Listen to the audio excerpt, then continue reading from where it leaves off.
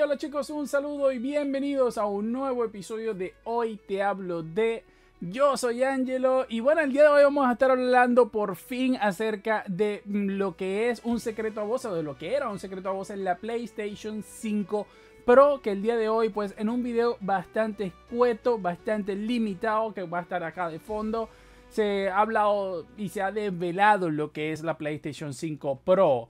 Y quiero iniciar diciendo que este video justamente demuestra un poco de lo que es la nueva filosofía de Sony, donde pues como que te anuncian las cosas sin muchas ganas, todo es siempre un poco así.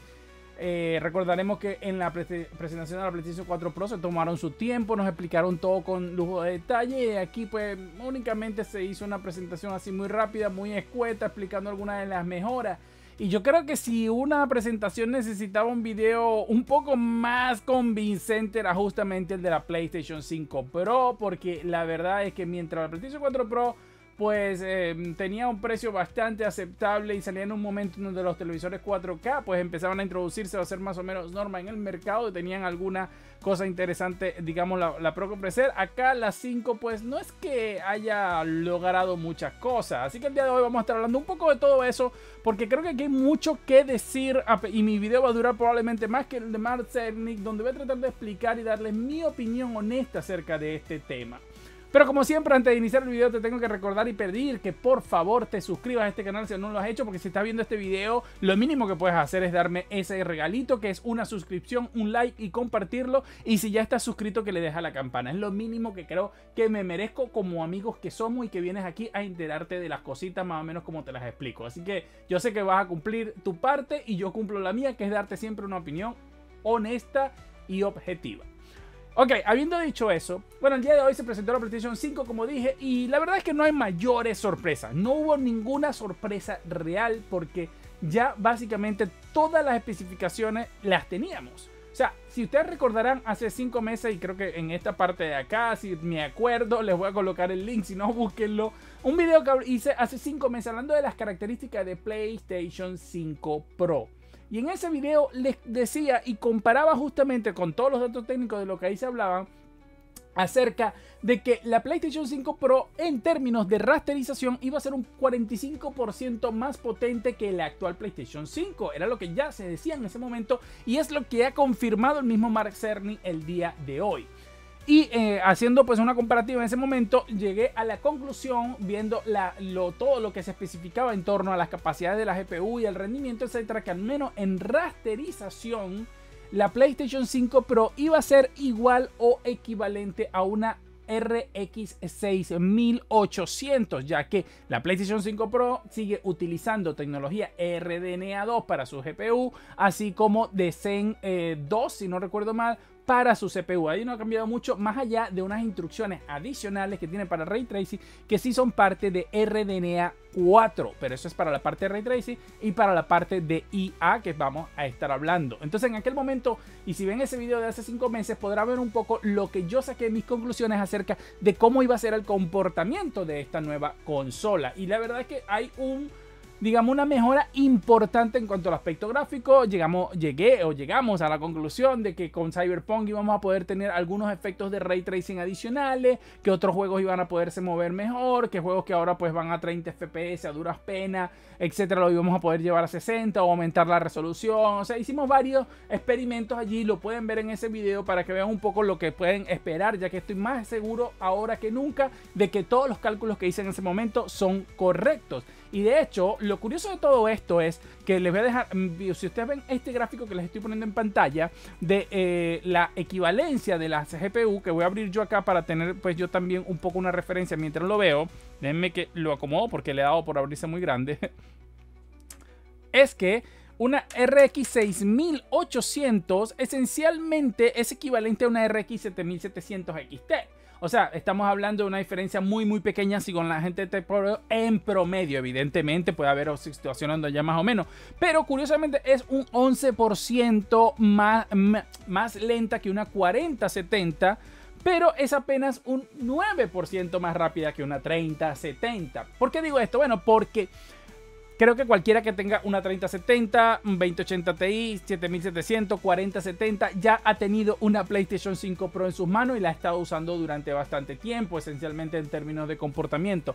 Pero también porque recordarán que yo hice un video hace bastante tiempo donde le decía que una PlayStation 5 no es igual a una 3070 y hoy más que nunca se recontra reconfirma lo que yo había dicho, que ya yo sé que todos ustedes lo sabían, pero bueno, mucha gente había dicho que una PlayStation 5 era el equivalente a una 3070 y hoy podemos nuevamente demostrar que no, porque realmente es con la PlayStation 5 Pro donde viene a ser un poco más potente que una 3070. Digamos un 10% más potente. Aunque entendiendo las optimizaciones que puedes tener siempre en consola, más la velocidad de la RAM, etcétera, pues va a terminar siendo eh, un poco más, ¿no? Digamos un 15%. Pero es apenas ahora, no cuando salió la PlayStation 5, ¿ok?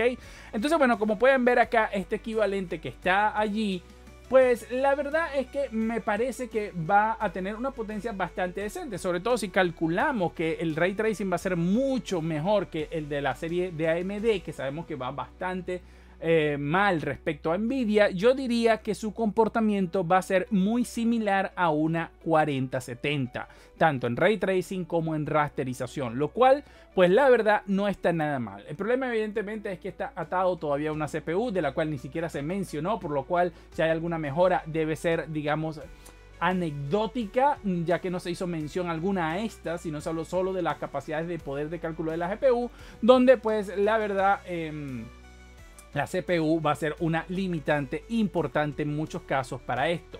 Evidentemente, junto a esto se trajo como segundo punto importante lo que hablábamos del tema del ray tracing. El tema del ray tracing, que es la segunda, o, la segunda de la trinidad de la que habló Mark en ese video.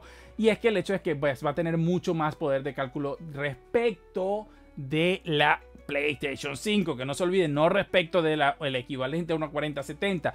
Por lo tanto, considerando que estábamos hablando de tecnología RDNA 2 en la PlayStation 5, por eso yo calculo que el, digamos, el comportamiento en términos de ray tracing más raster, etcétera, etcétera, que deberíamos estar más o menos en torno a una 4070, lo cual no está realmente nada mal. Y por último, hablan de lo que sería PlayStation Super Resolution o PlayStation Super eh, Sampling Resolution. Bueno, la PSSR, ¿no? Esta nueva tecnología que es el equivalente de PlayStation de DLSS, que esperemos que sea mejor que FSR, la verdad. Esperamos que sí, usando las unidades de inteligencia artificial. Y de este modo, pues esencialmente tenemos un DLSS propio de PlayStation, lo cual nuevamente viene a confirmar el tema de que esta PlayStation 5 en términos de GPU podríamos estarla comparando directamente con una 4070.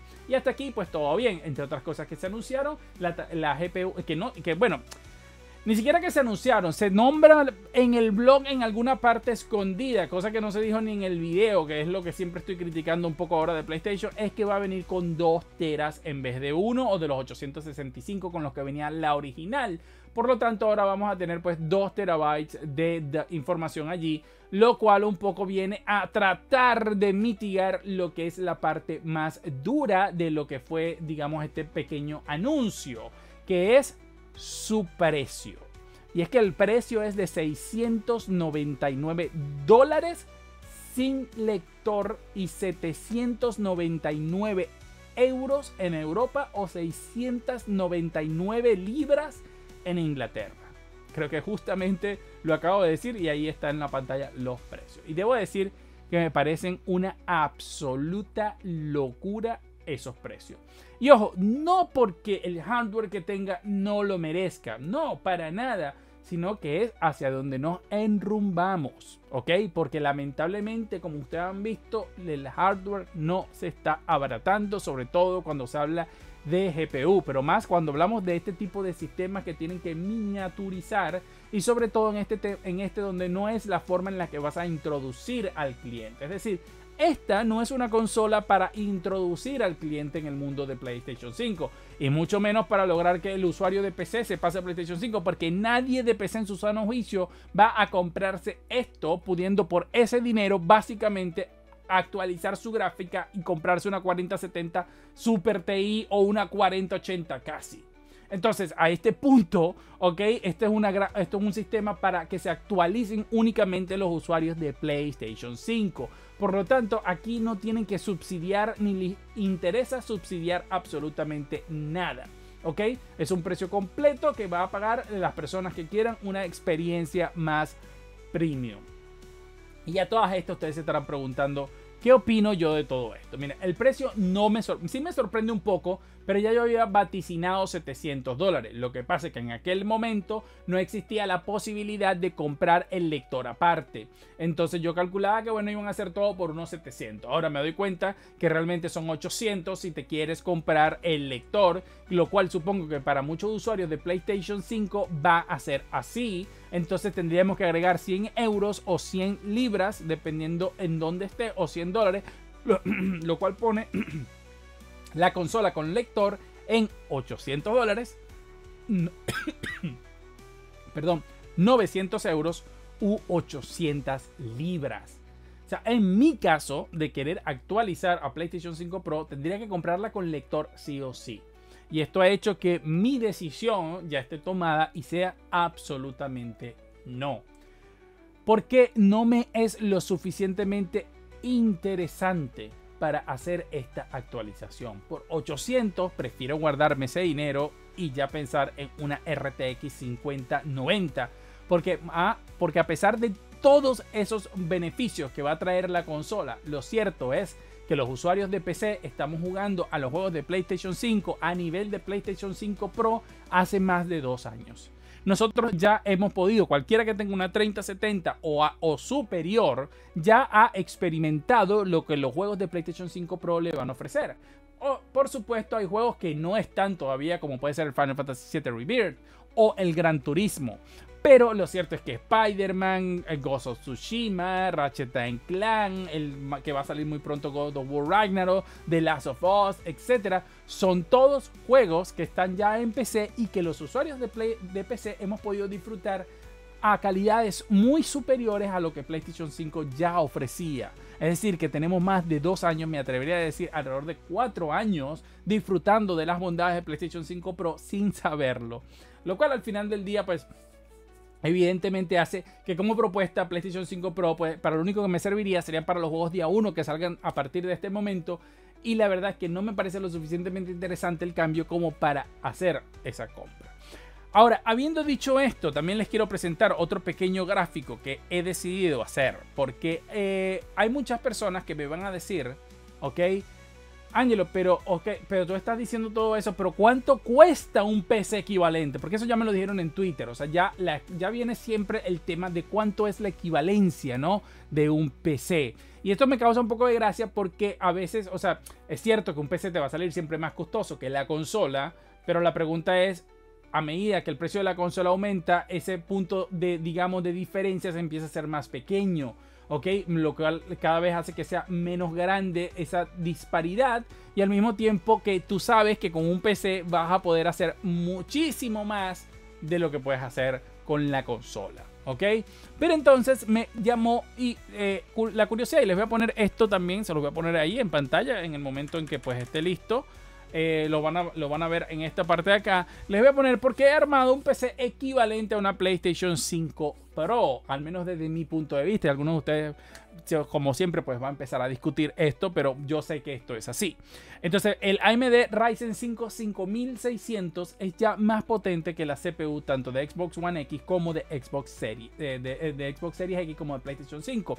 En este caso, porque eh, el equivalente actual sería un Ryzen 3600. De modo que ya un Ryzen 5600 es más que superior a esta consola, ¿ok? Luego los demás componentes, pues componentes económicos, básicos, suficientes para lo, nuestros objetivos. He colocado, por supuesto, un disco SSD de 2 terabytes para que no haya ningún tipo de inconveniente. La, em, he colocado 32 GB de RAM, no 16, que ahí pues podríamos habernos ahorrado quizá unos 30 dólares. Esto lo hice en dólares, ¿no? Y, y esto es, bueno, evidentemente la diferencia va a depender si quieres el lector o no en el caso de la PlayStation 5, donde se va a hacer más o menos grande esa diferencia. Pero el asunto está en que eh, este, este, PC tiene, como ven, una RTX 4070, que es el equivalente que les he dado, ¿no? No me he puesto a irme por una más económica, no, he, colocado una 4070. Y en este caso pueden ver que el precio final es de unos 965 dólares, lo cual son 265 dólares por encima del el precio de una PlayStation 5 Pro. Evidentemente es más caro, pero también van a poder hacer mucho más. Pero hay un, hay un punto aquí importantísimo a la hora de hablar de esto. ¿no? Primero son, no, son 265 mm, dólares más siempre que no te interese el lector. De otro modo son apenas 165 dólares. Ahora, esta diferencia se recorta tanto en Inglaterra como en Europa porque los precios son más altos de la PlayStation 5 en Europa. Por lo tanto, esa diferencia es menor. Hablaríamos de unos 100 euros de diferencia o incluso menos dependiendo si la quieres con lector o sin lector para una máquina equivalente. Pero también tienes que recordar una pequeña cosa. Hay que eh, que en el caso de PlayStation, ¿no? Una cosa es cuando vas y compras PlayStation 5 normal, ¿no? La PlayStation 5 normal para armar un PC equivalente tienes que gastarte unos 750 dólares. Es lo que siempre les he dicho, 700, 750 dólares. Y esto representa alrededor del 50% del precio de la PlayStation, es decir, 500 dólares más 250, es decir, un 50% más de precio.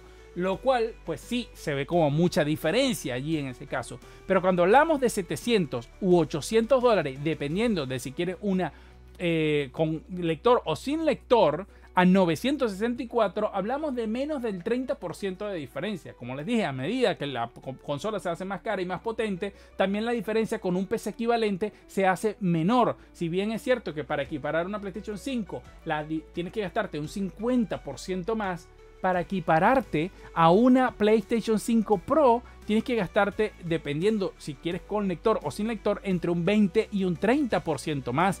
Lo cual hace que el, digamos, la intención de pasarte a un PC se haga más interesante que en el caso original, que era el de eh, comprarte un un PC equivalente a PlayStation 5. Porque si te estás comprando esa, y sobre todo sin lector, que cuesta 400 dólares, pues comprar un PC de 750 te equivale a más del 50% adicional de precio. Y para alguien que ya está haciendo un esfuerzo para comprarse una PlayStation 5, se vuelve una situación un poco complicada. Pero una persona que ya está dispuesta a gastarse 700 u 800 dólares por una PlayStation 5 Pro, cuando le dice gastaste un 20% más o un 30% más en esto, ¿ok? La situación ya no está tan clara y empieza a ser más difusa. Y yo creo que esto no sé si al final le va a perjudicar a Sony, donde vaya a haber personas que digan, pero para esto prefiero poner un poco más y terminarme comprando un PC. Yo creo que esto va a ocurrir y yo creo que Sony va a crear el efecto contrario a lo que están buscando, que es que los jugadores se pasen como que a PlayStation 5 Pro. Yo lo que estoy viendo es que va a haber una serie de jugadores que van a terminar pasándose a PC, honestamente. Habiendo dicho todo esto, hay que recordar también que la PlayStation 5 Pro no es una, una, consola necesaria. O sea, la gente se lleva la mano a la cabeza y mucha gente, como están locos. Pero hay mucha gente que independientemente del precio que tenga la consola, no se iban a pasar a PlayStation 5 Pro. Porque no es necesaria para jugar a los juegos. Es únicamente para jugar mejor. Entonces, pues habiendo dicho esto, tampoco es que tu PlayStation 5 ahora deja de ser jugable o que si no juegas en una PlayStation 5 Pro no está jugando bien o no sirve para nada. Después de todo, la PlayStation 5 va a ser siempre la base con la que se van a ir programando y haciendo los juegos. Así que, bueno, la verdad tengo que decir que pues estoy un poco sorprendido por el precio. Me hubiera deseado o esperado que Sony hiciera algo para eh, que fuera unos 100 dólares más económica, era mi precio original, pero bueno, está claro que Sony no pretende con esta consola perder nada y eh, pretende ganar dinero desde el día 1, como ya dije, al final del día no es la consola, la consola con la que se van a introducir los jugadores, es una consola para mejorar, va a tener eh, algunas mejoras, hubiera deseado una presentación mejor, porque creo que si una consola lo ameritaba para convencer al público es esta, y creo que con esta presentación realmente han convencido a muy pocas personas.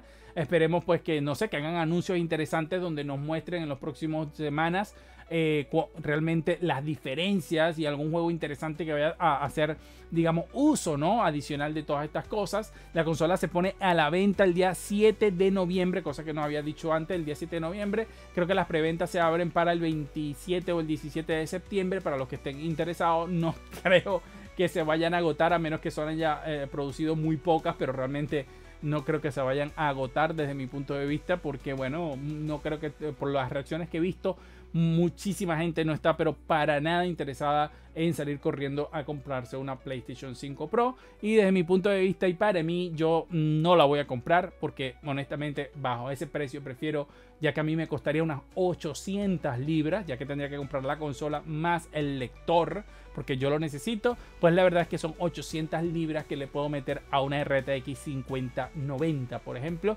Por lo tanto, pues la verdad es que no. Y para jugar a los pocos exclusivos, digamos exclusivos que, que tiene la consola, así el día 1 que sale la PlayStation 5 me es más que suficiente.